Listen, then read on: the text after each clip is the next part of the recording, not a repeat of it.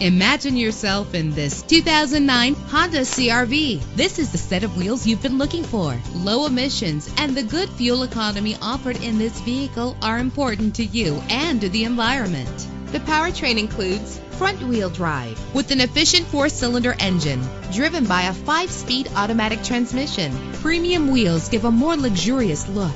The anti-lock braking system will help deliver you safely to your destination. Know the history on this ride and greatly reduce your buying risk with the included Carfax Vehicle History Report.